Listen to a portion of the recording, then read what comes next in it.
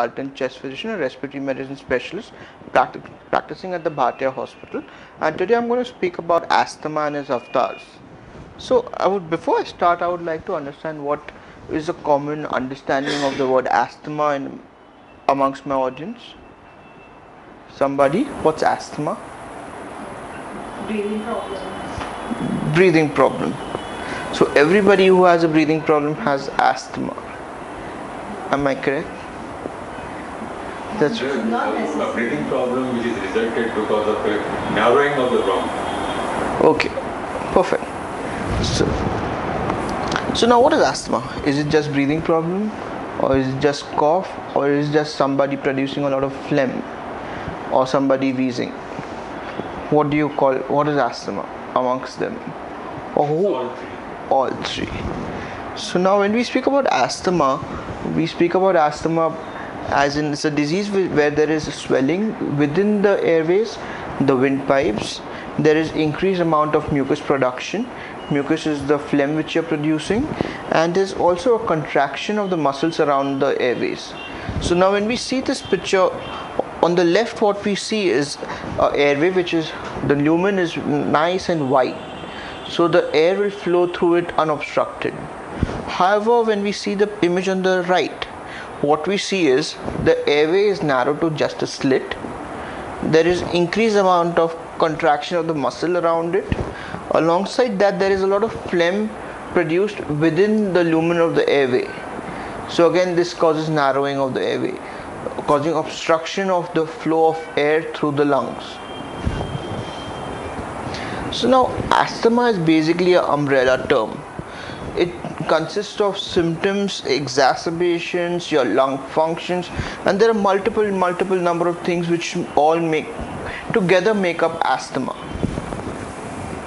So now what are the common symptoms? So how do you say that somebody may have asthma? Somebody who's coughing, somebody who's wheezing, somebody who has a feeling of chest tightness. He'll feel suffocated. He'll feel as if somebody is constricting his chest. Or somebody who's short of breath and may also complain of excessive fatigue is somebody who may have asthma. So how do you diagnose asthma? Majority of the cases are first diagnosed on history taking followed by a physical examination which may or may not be normal and we ask the patient to perform a breathing test which is called a pulmonary function test so now this is the kind of test that we do. We ask a person to blow into a pipe and we check the amount of air that he can blow within the first second. A normal person can blow out about 80% of his lung capacity in the first second. People who are asthmatic have difficulty in blowing out this air. So typically a person with asthma will blow air to a level of less than 70% of the normal predicted for his age and height. Sorry. So now what are the conditions which may present like asthma? You have something called copd also called as chronic obstructive pulmonary disease which is basically a disease of the lung which also causes obstruction of the airways and this is predominantly because of two major conditions. One is smoking which could be any kind of any form of smoking which includes tobacco in pipes cigarettes, bidis, hookah, whatever. The second most important cause of this disease in India is biomass fuel. Chula. So this chula could you people use wood, people use cow dung, and they use multiple number of things which are organic in nature to produce for this energy. The next important cause is left ventricular failure, which basically means heart failure. The other important things that we should remember are cancers and foreign bodies within the airways. That is, people swallowing something like commonly we find patients with peanut, they probably fall unconscious and they swallowed a peanut. That's the most common, or some children come with swallowing whistles or nuts then the other use is the common cause is drug induced so what we are seeing in our country today is the patient there are so many patients with blood pressure related diseases patients with blood pressure or hypertension are given a class of drugs called the ACE inhibitors, which are known to cause wheezing or breathing difficulty. The next important cause is pulmonary embolism, which is basically a clot into the blood vessels in the lung. The other causes are in your throat, which include laryngeal obstruction. Then you have something called the vocal cord dysfunction, which is usually seen in young women, usually in the age group of 18 to 24, wherein the vocal cords, which are like two curtains, which should shut when you speak, they abnormally stay open. And when you're breathing in, this should open and then it shuts. So it acts as it acts paradoxically. So then you have something like tracheal some tracheal pathologies like a tumor in the throat. There's another disease called bronchiectasis, which is basically destruction of the lungs, airways. Most commonly in India, tuberculosis is a risk factor. So patients who have had tuberculosis in the past may have had damage to their lung and they may remain breathless for a long long time. Another important cause is gastroesophageal reflux. Very often we find patients who come with chronic cough or cough lasting for more than 3 weeks with undiagnosed or un, unknown cause for this cough. There if you take a good history we find that these patients have acidity or reflux and this reflux causes microaspiration as in what happens is the acid from the stomach moves into the throat and then is swallowed into the lungs. So the minute the acid touches the lung, it goes into a state of spasm. It tightly shuts itself to prevent any damage caused by this acid. So this also causes breathing problems, a cough, wheezing and one of the most important factors for worsening of anybody's asthma. So now when I speak about asthma, I, I really like speaking about this. Asthma is like a Ravan. It's one disease, but it has so many features, so many faces to present before you that it's difficult to fathom what kind of asthma it is for a layman. So when today when we speak about asthma, we speak about the Ravan for a very important reason is that we have now got different treatments for different types of asthma. So you have patients who I'll speak about it. So now there are two different types of asthma. One is early onset, but other is late onset. So now once we describe about the time of onset, then we should speak about the severity. So you may have a mild, mild to moderate or a very severe type of asthma. Some asthmas begin in early childhood, some begin in adulthood in childhood we find about 70% of asthma beginning and about 30% of asthma begins much later in life in the 20s and the 30s. So you have a mild atopic asthma meaning mild allergic kind of asthma.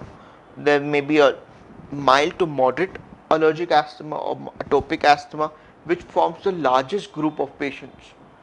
And then you have the very severe allergic asthma which is a very small group but a very important group because they are constantly symptomatic, their quality of life is poor and they seek help, medical help more often. And then you have the late onset non-atopic asthma which is basically non-allergic type of asthma and then you have the late onset prim primary late onset seen usually in females and this is the worst kind of asthma to see because they are the ones who need the highest amount of care in hospitals in ICUs. So now what are the triggers for asthma? There are so many triggers for asthma that we should realize that each person has a different way of having an exacerbation or increase in his asthma symptoms. One, some patients have increase in asthma symptoms on exercising. Some have on exposure to bugs which include cockroaches which is the most common form of allergy in our Indian homes. Then you have cold air. So now, now there are some people who only wheeze or they only complain of breathlessness when they go to a colder climate or when the temperature suddenly dips. There are people who have asthma due to strong odors. Now this odor can be of any form. Agarbattis at home, the incense sticks. You may use people who use perfumes, deodorants are also very prone to getting an increase in asthma if they're asthmatic. Then you have the most common thing is the common house dust. So where, where does where does the most amount of dust reside in your home? The dust mite with bedsheet, bedspread. Yes. So we spend about eight hours, or average person spends about eight hours in one place, which is his bed. That's where he sheds his skin. We know that we change our skin changes every 28 days. So the dead skin is left behind in the mattress. The dust mite, which is basically a very small bacteria, or which sits in the bed, which sits in the mattress, eats the dead skin and then causes your asthma to increase. So when we have a patient who we know has increase in asthma symptoms because of dust, we ask them very, we give them very specific instructions. One, don't do dusting at home. In case there's dust at home, wet mop it. Wet wipe the place. Second, cover your mattresses in soft plastic. Third, change your linen every two to three days. Fourth, wash the linen in hot water and sun dry it. Why is this important? Because this is the only way you kill the dust mite. Then the next important thing is pollen. I mean, in Bombay you don't have much of pollen, so you don't want to speak much about pollen allergies in India. But when It's seasonal. it's seasonal, but then it's also seasonal when you have cold air. So pollen in, in we don't have much of a flowering season in Bombay, but when we move to rural parts of the country or so, semi-urban areas, you find the amount of pollen in air increases drastically. Again, pollen is an allergen, a protein which, when inhaled, causes an acute exacerbation or acute increase in the asthma symptoms. Another important thing is fungal spores. Common in Bombay, why is this important? Because in Bombay, patients usually have fungus in the homes during monsoons. So you'll find bathrooms covered with a black slime, which is aspergillus, a very very dangerous fungus, which when breathed in in a patient with asthma can cause serious consequences. Then you have smoke. Now smoke is ubiquitous; it's everywhere. You have smoke in the homes from cooking, from use of air purifiers, from use of agarbattis, candles. Then you have pollution. Now pollution is two ways. There's indoor air pollution and outdoor air pollution. Outdoor air pollution in a city like Bombay is majority is because of vehicular traffic pollution. The other important cause is industrial pollution. Also with new construction activity all around you have you have pollution because of construction. Indoor air pollution is important because you have so many pollutants in the living environment, especially when you're when you have paints, etc.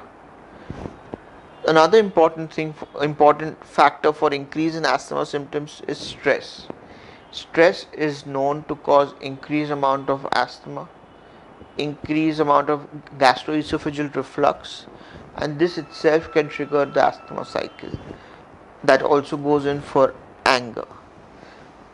Pets, hairy pets, especially dog, dogs with hair or cats with hair, are known to cause produce small tiny hair which when inhaled cause increase in the asthma symptoms.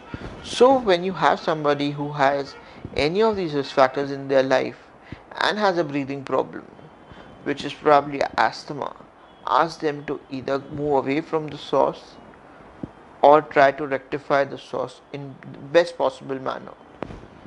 Uh, one more thing about the indoor air pollution is we are seeing commonly people use coils, mosquito coils. Now, one mosquito coil, when burnt in a room, is equivalent to smoking 100 cigarettes. There was a study done at the Chest Research Foundation in, in, in Pune. Dr. Sandeep Salvi was the head researcher there. He found that one mosquito coil produced enough smoke when breathed in to match 100 cigarettes. So if a family of four is sleeping in a room with one mosquito coil on, so that means four four people in the family have smoked 100 cigarettes that night.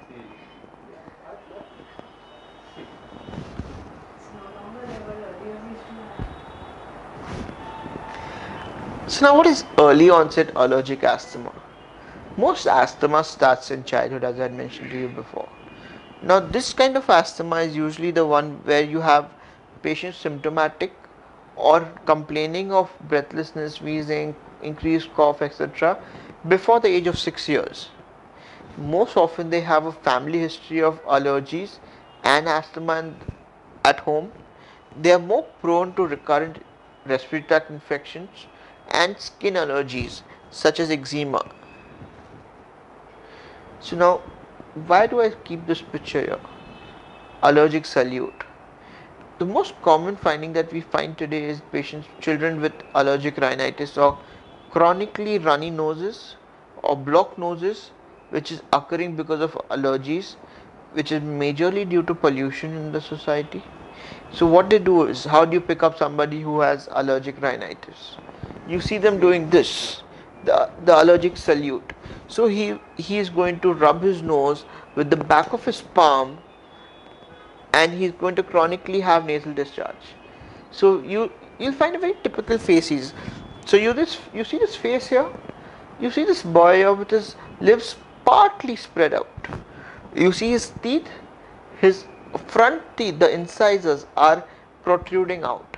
So if you remember Tare Zameen Pe and the actor, the child actor there, you, if you see remember his face, lips slightly apart, the two front teeth protruding out, small gap between the two teeth, his nose upturned. A very very classical picture of somebody who has allergic rhinitis. Now most patients who have asthma also have allergic rhinitis, but not every patient with allergic rhinitis rhinitis has asthma. This is something that we really need to understand and remember for all our lives. Because suppose somebody has allergic rhinitis always screen him with a lung function to check whether he has asthma or he does not. So now what is the link between allergic rhinitis and other chronic disorders patients with allergic rhinitis very often have ear infection it's called otitis media so very often we have seen our children growing up with runny noses and then suddenly they have pain in the ear or you have babies crying in the aircraft because of ear pain. It's again because of rhinitis, allergic rhinitis which blocks the eustachian tube which is a small tube connecting the nose and the ear which gets blocked and creating a ear infection. Then you have some asthma as I already mentioned to you sinusitis very often we find people around us telling, complaining of sinusitis, blocked nose, headaches, eye pain, eye strain, fever. Then you have patients with allergic rhinitis who have dentofacial anomalies. I'd explained to you the allergic rhinitis facies or the typical facies of a patient who has allergic rhinitis and this is what I mean dentofacial abnormalities very important thing is sleep disordered breathing. So very often you find people who have obstructive sleep apnea which is probably because of large adenoids as a part of his allergy, allergy symptoms which basically block the back of the nose. So somebody who has to breathe with his nose is now breathing with the mouth. His sleep is incomplete or unrefreshed. He will be excessively sleepy during the day he may forget things, he may have cognitive abnormal, abnormalities. So, this is something called sleep apnea. Patients may have insomnia, as in the patient may find it difficult to lie down and sleep. Now, what is childhood onset asthma? It's asthma which starts in childhood. It is because of sensitization or exposure to allergens in the environment what is adult onset asthma usually begins in the age of 20s it affects men more than women so very often you find the women who are who develop symptoms of asthma only in their 20s So, and what are the triggers here? The trigger is anything which can cause allergy in such a patient. But there is there are many many non-allergic factors which I will come to. Now there is a group of patients with very severe asthma which is usually adult onset starts in later half of life wherein patients do not respond to the standard line of treatment for asthma and they require far higher doses than conventionally required to treat asthma. What is occupational asthma? Mr. X goes to work on a Monday morning. At work, he feels tired, he feels drowsy, he's breathless, and he's coughing. This is because of exposure to something at work which was different from what he had at home. So uh, he will have these symptoms from on all his working days, and on the day when he is not working and he's at home, he will have no symptoms at all. Then, what are the common occupations associated with this kind of asthma? Spray painters. So patients who or people who spray paint the walls, cars, etc. are the ones who are very prone to this kind of asthma. Patients who work in sawmills or patients or persons who work as carpenters usually have very fine sawdust which when inhaled increases the asthma symptoms. Bakers because they are working with yeast, they are working with flour may have increased symptoms of asthma when at work. Smelters again not much in Bombay usually seen in industries. Then you have electronic workers who are constantly exposed to solder fumes. And then you have the pharmaceutical industry workers where they're constantly exposed to different chemicals used to make medicines. chakki workers also. chakki. Yeah. So now when I speak about uh, when I speak about bakers, I would like to also include the Uh, chakki walas, millers, but we don't really come across too many millers these days because we are constantly changing our society, the habits. Now, what is aspirin sensitive asthma? Now, some patients only complain of breathing problems when they take aspirin. Earlier, it used to be taken, aspirin would be taken for pain, which is no more the indication. Now, you have patients who are elderly with high blood pressure, diabetes, or a heart disease who are on aspirin all the time to prevent heart prevent clots from forming. They are the ones who complain of sudden onset bronchial asthma or sudden onset of symptoms of asthma, and this is what is important. Aspirin is an important important triggering factor. Now there is something called aspirin sensitive asthma in which you have patients who have recurrent rhinitis, sinusitis, and they have polyps or grape like clusters in the nose. So this, if you find a patient with a combination of a history of aspiration, aspirin ingestion, nasal polyps, and asthma worsening because of the drug, you call this aspirin sensitive asthma. Then you have exercise induced asthma, which usually occurs about 15 to 20 minutes after the onset of activity, and it presents in the vast majority of individuals with asthma. Now, what happens in exercise induced asthma? In such cases, what the person is doing who's exercising is one, he's breathing through his mouth, so there is no hydration or moisturization of air, which is usually the function of the nose. Second, there is narrowing of the airway. Third, it is harder for the air to move into the lung and outside of the lung. The patient will be coughing, wheezing, and have difficulty breathing. So obesity and asthma very very important in this age group.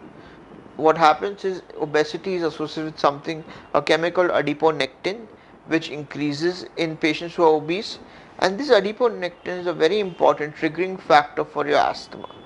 So if a patient with obesity comes to you with symptoms of asthma, the first thing which also goes into his management apart from the drugs to relieve his acute symptoms of asthma is loss of weight.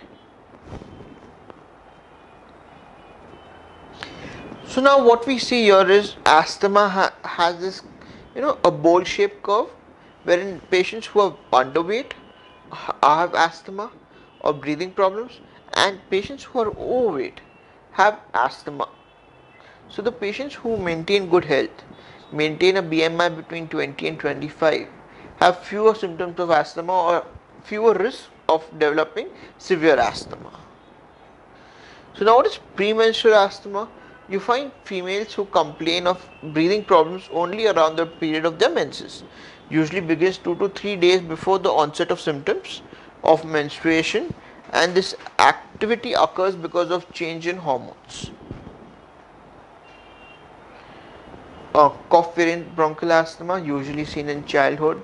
So a child will only give you complaints of coughing which may be dry.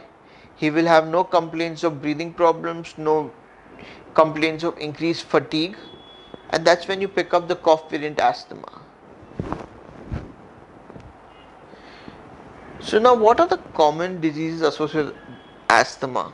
One, allergic bronchopulmonary aspergillosis. So when I was speaking to you about aspergillus being ingested or inhaled in a patient with asthma, the black mold when inhaled causes destruction in the lungs. So there is widening of the airways small pockets form in the lung which tend to pool secretions. And then you have patients who complain of chronic ex- expectoration of sputum. They may or may not have blood in the sputum and they will have respiratory failure. Then you have bronchiectasis which I explained to you earlier. COPD is again chronic obstructive pulmonary disease. Smoking related or biomass fuel exposure related respiratory infection so somebody with asthma has an increased rate of respiratory tract infections. Such patients have an increase in allergic conjunctivitis. So you will find patients who complain of red eyes especially during the winters or just the time of change of season. They will also complain of a runny nose a dry gritty sensation in the eye as if there is sand in the eye. So these are the ones who are allergic and need treatment for their allergies you also suspect asthma in such patients and you perform a lung function test which may or may not be suggestive of asthma. Then you have patients who have increased number of skin disorders like eczema who have asthma. Now patients with asthma may have metabolic syndrome which I explained to you obesity, obesity which is morbid. The patient may have hypertension and diabetes alongside renal dysfunction food allergies do not really have a very big impact on patients with asthma and very few food allergens are known to ex cause exacerbation or increase in the asthma symptoms. Now how do you treat? Before we start treating, first thing we do is check the peak flow meter readings.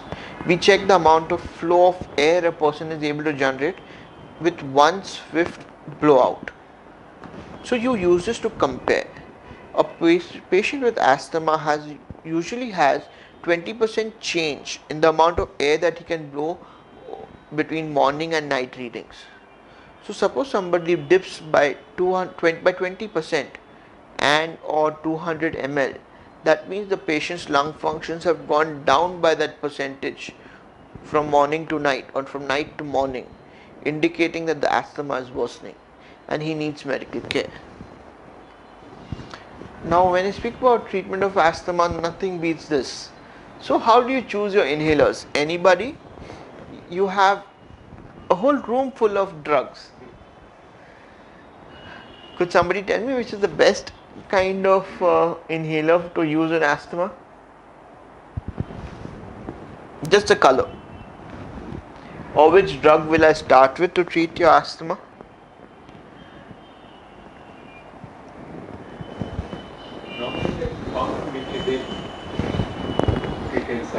Which one? One, two, yellow, blue. I see a grey one there. The yellow? Okay. So now what we need to understand is there's color coding. So the yellow inhaler has a orange covering. Most likely it is a drug called tiotropium which is exclusively used in patients who have smoking related lung damage and not asthma. So you start treating asthma with a, yes sir. So you start treating asthma with a small amount of inhaled corticosteroid. Not all steroids are bad, but when overdone, when wrongly given without an indication, yes, steroids can be lethal. So, how do you choose? So, I'll just tell you what these inhalers are. So, the first one which you see is a blue color inhaler, which is for emergencies to be used only in case of an emergency or at the start of treatment. Then the next one you see contains about 60 doses of a drug. It's made by a particular company and it you cannot you need to change the device after set number of medicines inside have expired. Then you have a new device called a rotahaler where you twist the machine clockwise and you have a capsule disintegrating and producing a powder which you need to inhale. The gray inhaler which you see is called the autohaler. It is basically something in which a patient, the machine or the pump lets go of the medicine only when the patient breathes in. However, when we give the last inhaler that we see, it irrespective of the patient breathing in or breathing out, the drug is sent into the lung. So now which kind of inhaler will you use again? This is the kind of choices that you have for your inhalers. So who who chooses one for you? Just your doctor? He will tell you use. When we see the ad and when we see the an ad and go and pick up over the counter. You never pick up over the counter. So a doctor has to decide upon your ability to take the medicines. So when somebody who is breathless but not very symptomatic, we may use something called a dry powder inhaler like what you see out here Ingelheim or HandiHaler or the Breezhaler where a person generates enough flow of air to make the drug which is in powder form into a mixture a cloud of the drug to for him to breathe in. However we, when we see the other kind of inhalers like the aerosol inhalers autohaler etc you find that the machine has gas under pressure which when released produces a gaseous form of the drug which is easily inhaled into the lung where a patient does not need to pull the drug into his lung. So such kind of yes so now when patient this is equivalent to giving a patient nebulization. So when a patient is so breathless that he cannot breathe anymore we give him nebulization.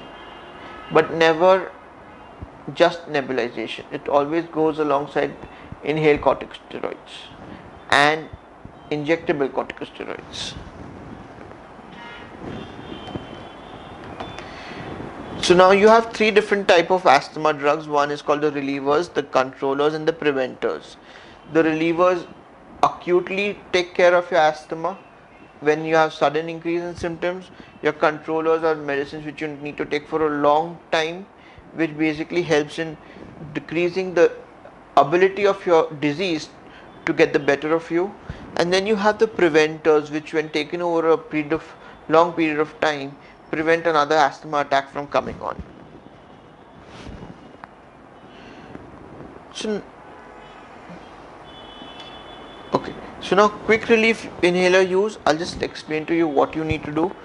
You can use or rather what do you how do you treat a patient with exercise induced bronchial asthma? Take a inhaler 10 to 15 minutes before exercise as a part of your warm up. Take one puff breathe in hold your breath for a total of 10 seconds and let go of the air through your nose. One important tip for all patients with bronchial asthma is use inhalers with a inbuilt dose counter so now the good companies in, in our country now have a dose counter on an inhaler device. So it tells you beforehand how many doses of the drug is available to you and when do you have to purchase the next machine. Mark each time the inhaler is used using a pencil and on a card. Why is this important? Because you need to count the number of times you have taken your rescue medications in a particular week the minute you take more than two times your reliever medicines or the medicines which are used to treat your acute increase in asthma, you need to go to a doctor. You need to get your asthma assessed, and it just means that you have a very bad asthma at that point in time.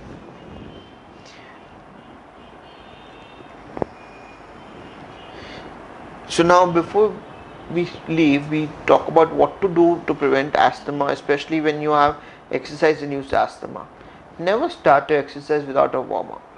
A warm-up is basically short duration of activity which just gets you your heart rate increasing but it prevents you from increasing very fast.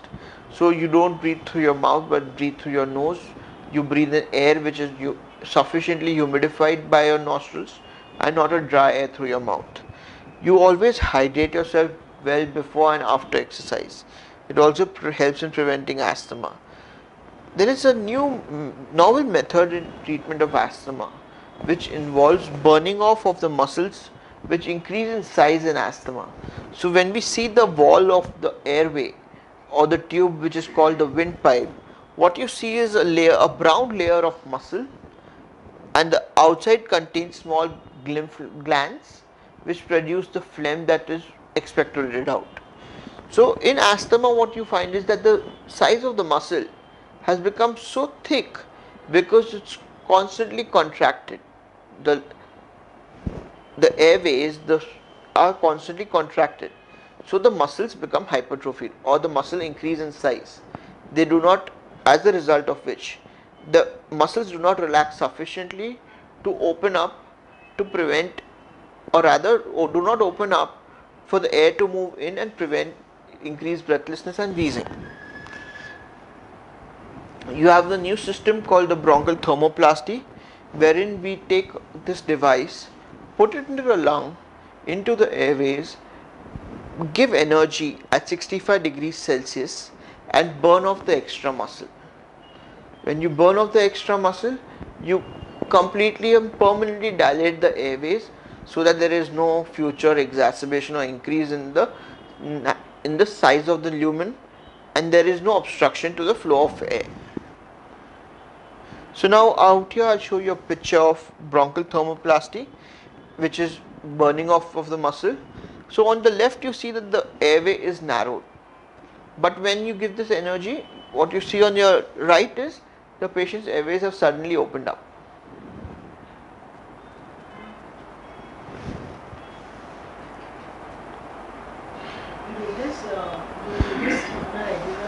Uh, this is not available in our country yet. The government has not given us permission. Besides, it's very expensive, and our patients who do not, who are usually not willing to buy inhalers, cannot afford this kind of treatment. Does it the elasticity of the bronchiole? So once the size or the thickness of the muscle increases, you have something called remodeling occurring. As in, there is no change in the diameter of the lumen of the airway because the muscle is so thick when it tries to relax itself it does not relax enough to cause dilatation of the airway. Yes. It's permanently contracted. Any questions? Yeah. Uh,